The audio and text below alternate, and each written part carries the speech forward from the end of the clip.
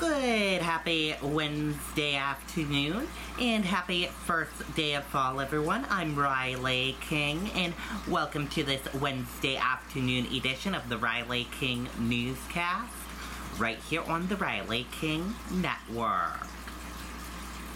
We have a lot of news to get to this Wednesday afternoon, so let's get started right now. First up, let's go to meteorologist Kevin Skarupa and take a look at your weather for this afternoon and what to expect.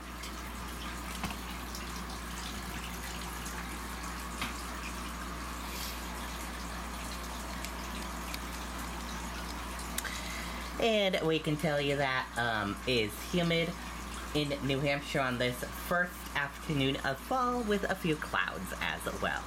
With more on that weather forecast, let's go to meteorologist Kevin Skarupa right now.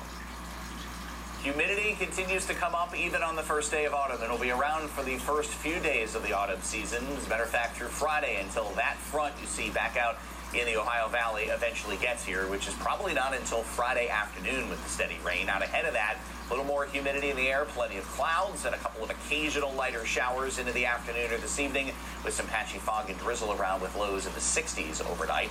As far as tomorrow is concerned, we'll be looking for temperatures again to go back into the low and mid 70s. This will be with a chance of a passing shower here or there. I think we even see a couple of sunny breaks as we go through the afternoon. Beyond that, we're looking at the steadier rain to make its way in during the daylight hours on Friday. There could be a couple of embedded thunderstorms with that front as it makes its way through. Humidity will drop quickly behind that later Friday night and early Saturday and leave us to more comfortable conditions for the weekend with partial sunshine expected. Upper 60s to mid 70s this afternoon, a few light showers through tomorrow, and again, that steadier rainfall for Friday. Partial clearing setting up for the weekend. Okay, and there you go on that weather forecast from meteorologist Kevin Skarupa.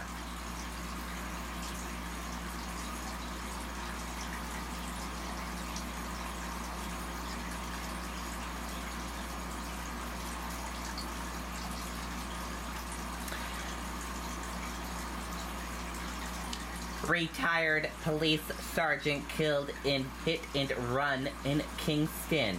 Investigators seek tips from public. Let's take a listen to that video from WMUR News 9. Whoa, this is big. The Powerball jackpot is so big you can see it from space. So big it's bursting at the seams. It's so big the jackpot hit the jackpot. Buy your tickets today online at nhlottery.com or in stores. Now we are following some breaking news. State police are investigating a deadly hit and run that happened in Kingston. They say 59-year-old Donna Briggs of Derry was riding her bike on Route 125 yesterday morning when it appears she was hit from behind. Her body was found around 8:30 last night. Troopers say video from a nearby business shows a dark-colored vehicle hit her. Okay, and there you go on that video and that report. And she worked for the Hudson Police Department.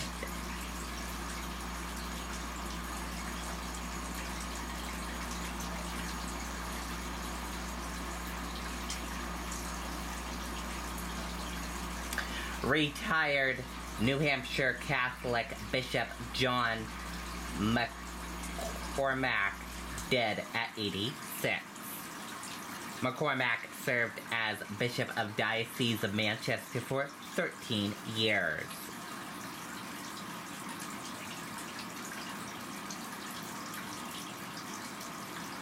Former Concord teacher to plead guilty to sex trafficking charges. Joshua Harward of Manchester, a former high school teacher and university business professor, faces up to seven years in prison. A former Concord High School teacher and Southern New Hampshire University professor who was arrested on prostitution and child sexual abuse image charges is scheduled to plead guilty in court on Wednesday to a single felony of trafficking count.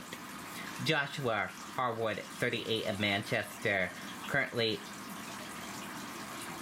in created at The Merrimack County Jail in Boscawen informed the Merrimack County Superior Court on Tuesday he would be pleading guilty to a single felony charge of trafficking in persons.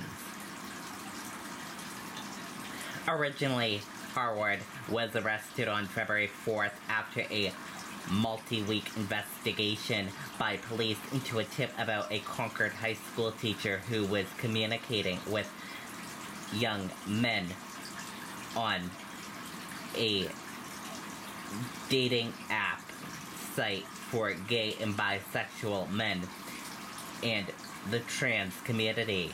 During his interactions, he pretended to be a high school student, according to investigatorial documents. A former student who hooked up with Harward in exchange for cash realized he was a teacher and father and not a high school student. He informed the school district and police about the encounter, which led Harward being placed on leave in December of 2020. Police investigated Harward's online activity dating back to January of 2019 and accused him of making 38 Venmo transactions to five men and one boy. According to an affidavit, he was interacting with at least one of the men while teaching, according to the investigation. After being arraigned in Superior Court, Harward faced dozens of charges. He was indicated on 10 felonious counts of possession and related offenses, 9 counts of manufacturing of child sexual abuse images, and 9 felony counts of trafficking in persons earlier this year. According to a plea agreement, he will be sentenced to between three and a half and seven years.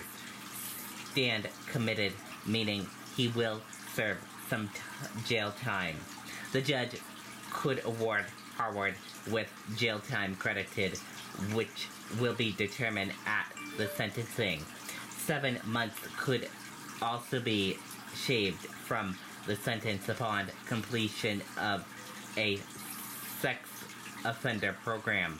Harward could also be fined up to 4000 Harward, according to online reports, taught business at SNHU and also worked in the Farmington School District before coming to Concord. He grew up in Scituate.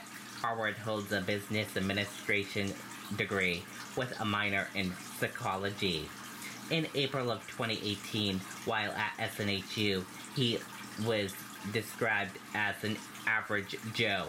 Harward was awarded the University College Faculty Academic Advisor of the Year award in 2017. And he will be due in court today.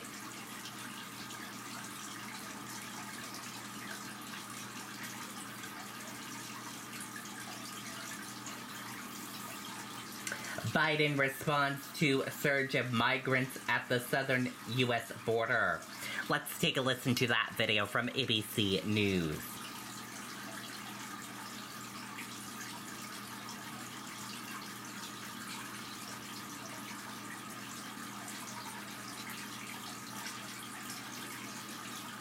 Monkey Shoulder believes first dates, just like your whiskey, don't have to be so serious. I love the ballet, but I'm also On the president's response from our chief White House correspondent Cecilia Vega, see the president getting it from all sides. George, he really is, and the fact that you've got Chuck Schumer, the leading Senate Democrat, publicly blasting the president over this, and other Democrats as well, is actually a really big deal. And this morning, you've even got the head of the NAACP demanding to meet with the president over this. The administration has really boxed into a political corner on this one. You had the president campaigning on taking a more humanitarian approach uh, to the southern border. He really ran on being everything Donald Trump isn't when it comes to immigration. But the reality is, this White House is using the same Trump era, pandemic era rule uh, using COVID as a reason to not allow, to not give these migrants the opportunity to claim, legally claim asylum here in the United States. Um, the administration has struggled to respond to some of these images that you're looking at right there. Initially, uh, Mayorkas, the Department of Homeland Security Secretary, said that described the scene there as chaotic, saying these officers were using their horses to trying to control their horses. But then you've got now Mayorkas and other officials saying that these images are horrific. George, we haven't heard very much from the president directly on this one. His press secretary, Jen Psaki, says that he does not believe that these images represent the position of the administration or for the country, for that matter. Cecilia, we did hear from the president yesterday at the UN, his first speech. Let's listen in. Our security, our prosperity, and our very freedoms are interconnected in my view, as never before. And so, I believe we must work together as never before. The speech was a place to see, in his words, for relentless diplomacy. Yeah, exactly. And really, what he was doing here is trying to extend an olive branch, mend some fences after some of these really tough international setbacks that he's faced with allies. He talked about calling on the global community here to work together to fight COVID and climate change. He did defend that chaotic withdrawal from Afghanistan that had so many allies outraged. George, today the president's going to hold a COVID summit here at the White House. Part of the UN still uh, back here at the White House because of COVID, where he's calling on uh, developed nations to give more vaccines to underdeveloped countries. Cecilia Vega, thanks very much. Well, hey there, GMA fans. Robin Roberts here. Okay, and there you go on that video and that report.